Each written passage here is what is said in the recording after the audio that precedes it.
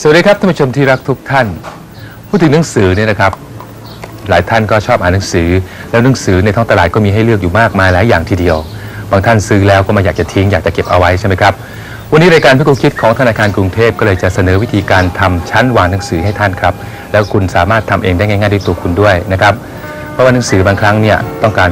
ที่เก็บที่เป็นระเบียบเพื่อสะดวกในการค้นคว้าใช่ไหมครับติดตามชมได้เลยครับ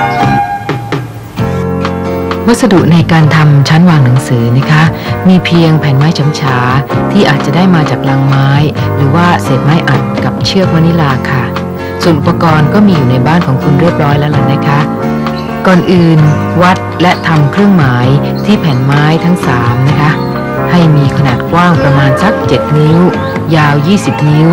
แล้วเลื่อยให้ได้ขนาดค่ะ จากนั้นทำให้เรียบ โดยการใสนะคะ แล้วก็ขัดด้วยกระดาษทราย และวัดขนาดที่มุมของไม้เพื่อเจาะรู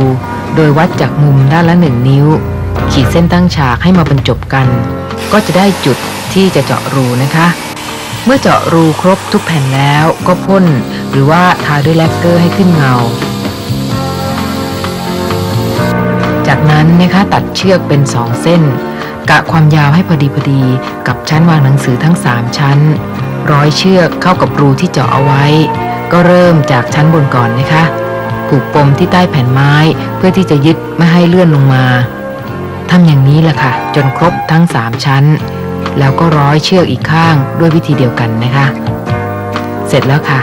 ไม่ยากเลยใช่ไหมคะ แล้วคุณก็นำไปแขวนในมุมที่คุณเตรียมเอาไว้แล้วนะคะ คราวนี้คุณก็จะได้เฟอร์นิเจอร์ชิ้นใหม่ ซึ่งทั้งสวยและก็ได้ประโยชน์ใช้สอยอีกด้วยค่ะ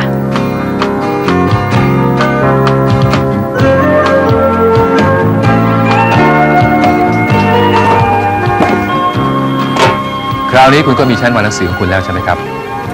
ชั้นวางหนังสือนี่นะครับ คุณอาจจะวางอย่างอื่นอีกก็ได้นะครับ อาจจะเป็นของใช้ส่วนตัว ซึ่งคุณสามารถจะหยิบฉวยได้ง่ายนะครับ